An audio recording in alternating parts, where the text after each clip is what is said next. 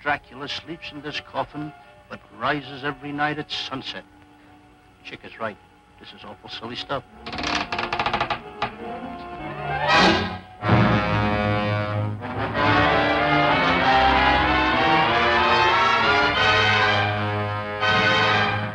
Come on, take it all out.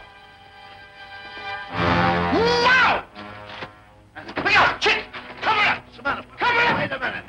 The nation's top comics, Abbott and Costello. Petrified, but hilariously. Plus the dangerous and terrifying Wolfman, played by Lon Chaney.